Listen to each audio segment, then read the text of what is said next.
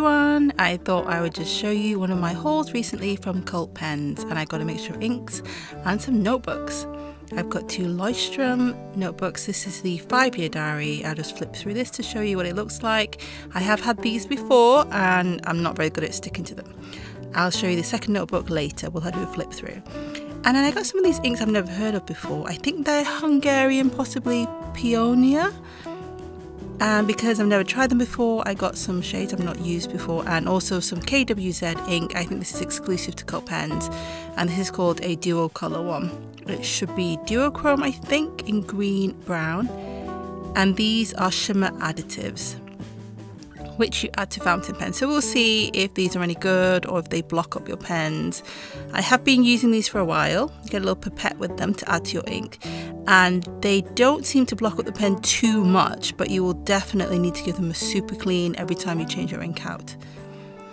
I also got three of these and these are Cult Pens, these are their exclusive colours and I have some of Cult Pen's exclusive colours which are the sheening inks and they are amazing. Okay, so here's the first one, which I'm going to swatch the Peen. I can't say it, Pinonia ink. I'm not even going to try to say the colour, but it's a cor corally orange shade. And then this is the KWZ green brown colour, which is quite dark. It's quite murky, and I'm hoping that when it dries, you can see a bit of the green and the brown. And then I'm using the corally orange colour and I'm adding a little bit of the additive just to show you what it does. And you only need to add, I think it's like one to two drops to it. And look, this one is a gold colour, like a pearlescent gold. And I'm just going to spread that out with a paintbrush. Then again, I'm using the KWZ and this time I will add the green to this, the apple green. And it does come in lots of different colours, the shimmers, but these are just the two that appeal to me. And I'll spread that with a paintbrush and when they're dry we should be able to see what it does to the ink. Now I'm going to swatch the Cult Pens. This is Little Mickey which is a really rich blue. I have lots and lots of blue ink but you can't have too many blue inks I think. I mean it's such a deep blue, it's almost touching on purple slightly or violet.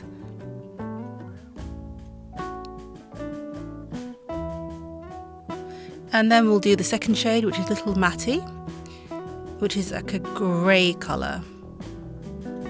I think that all the inks are named after people that possibly work for the company, which is quite sweet.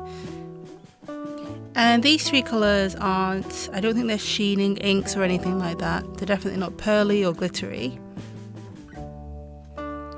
And then finally we have this one called Little Lou, which is like a kind of like a burnt yellow. It reminds me of another colour um, called Tobacco Sunburst. Now, I really, really, really like this colour. This is one I've currently got in my main fountain pen.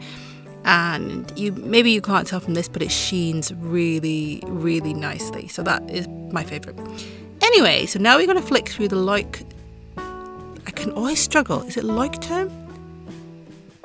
Anyway, let's have a flick through this change journal. And this is an unusual one because it has a mixture of inspirational things and it has little techniques inside to help you be productive, that kind of thing. So I'm going to flick through and just show you what the pages look like.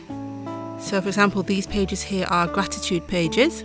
And you can work through this in any order that you want. There's no particular guide to be honest, so you have to just kind of work through it how you want.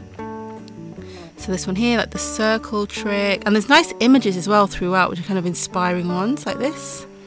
Digital detox, so there's different tips to help you manage your time. This is, for example, is a chart, and um, what you spend your time on. Some more nice imagery and habits is another good one. I think that you could probably use one of the sections or maybe you could use a couple at the same time. If it was me, I would only use one because it's a bit much really.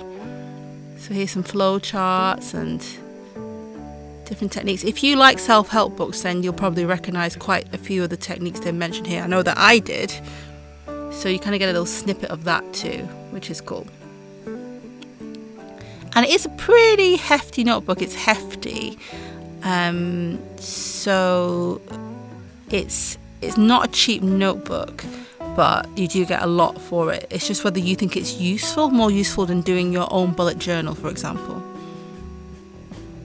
And you get interesting things here, like about trees. And at the beginning, you see there's something about drinking water and no, the power of saying no. And the sections are a couple of pages long. Clearing out, things like decluttering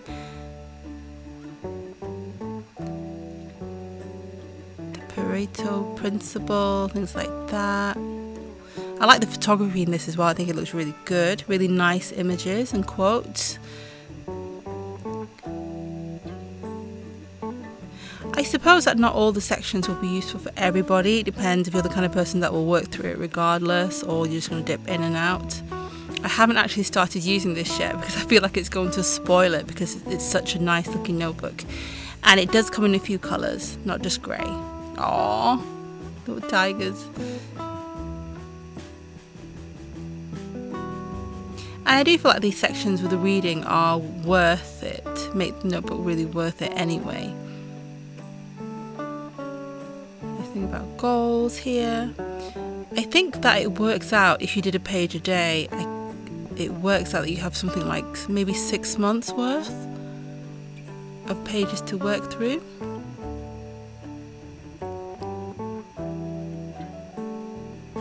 And a doggy. And the pages are, as you'd expect, really good quality paper. Although I haven't tried it yet, so I don't know if the fountain pen will show through. I really, really hope not, because that would really annoy me. A little bit there about saving. So yeah, there's all kinds of stuff in here. It's really interesting. I don't think I would probably start at the beginning. I'll probably flip through and see which section is the most relevant for me. Or actually, like I said, you can just mix, mix, mix and match as you go through. And then you have some blank pages at the back here, of course, just to scribble in, and your usual stickers. So now I'm going to show you the inks that I've dried. So there's the two. One is dried and one's with the additive. You can see it makes quite a big difference with sheening and then this is the KWZ which I don't really like the colour if I'm honest but I do like it more when it has the green additive you can see. It really makes it more interesting. And these are the Cult Pens exclusive colours. The blue beautiful blue no complaints about that one. The grey is more of a bluish grey and Little Lou absolutely love that colour that's my favourite one by far. So there you go that was my little haul that I made a while ago I thought I would share that with you. They're my favourite colours there so hope you guys enjoyed that. I'll see you next time. Goodbye.